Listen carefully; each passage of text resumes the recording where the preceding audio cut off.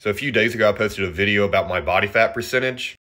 In the video, I was basically saying I'm nowhere close to 35% body fat.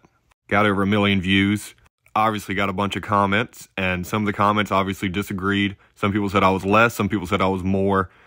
Most of these people obviously have no idea what they talk about and no merit. However, there were some coaches and pro bodybuilders like this guy said, hell no, you're at 34, bro. Still not close.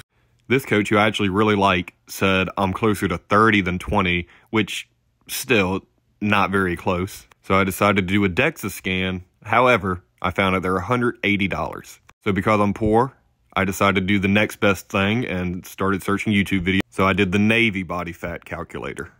The first step was to take your body weight, 235.8 pounds. Next, they said measure around your belly button, the smallest part of your waist. They also said do this uh, before breakfast, but I did this after. Oh well, boohoo. Got 39.